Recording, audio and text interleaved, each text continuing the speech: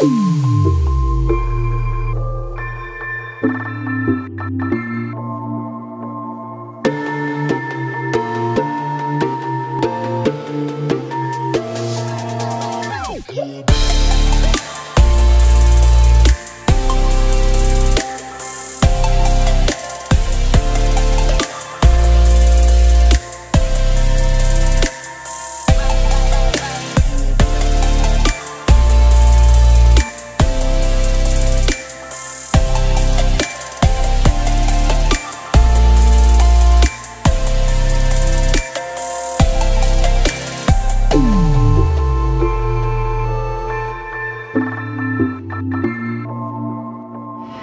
ਕਿੱਦਾਂ ਲੱਗੀ ਅੱਗ ਜੀ?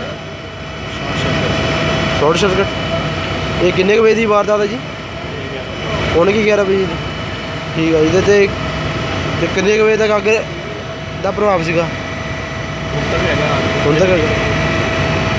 ਠੀਕ ਹੈ ਨਾਂ ਕੀ ਆਪਣਾ ਜੀ?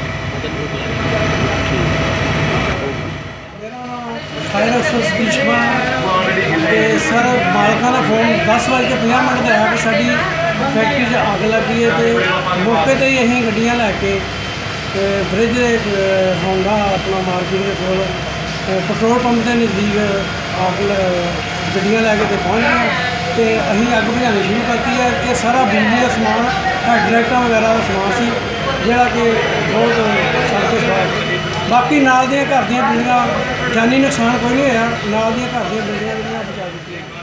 অবশ্যই